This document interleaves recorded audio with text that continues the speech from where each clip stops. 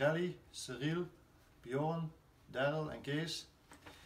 Jullie gaan eh, komende woensdag starten met het eh, 40 dagen nee project. eh 40 dagen zonder alcohol. En eh, daarvoor wil ik jullie even een eh, hart onder de riem steken. En heel veel succes wensen voor de komende periode.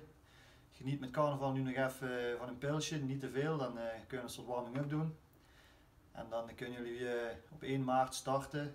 En eh, ja, dan 40 dagen zonder alcohol. Ik weet zeker dat jullie dat, eh, dat gaan redden, dat jullie dat aan kunnen. En eh, heel veel sterkte daarbij en eh, ook in de iets moeilijker periodes doorzetten en dan komt het goed. Dus ja, van mij nog eens heel veel succes.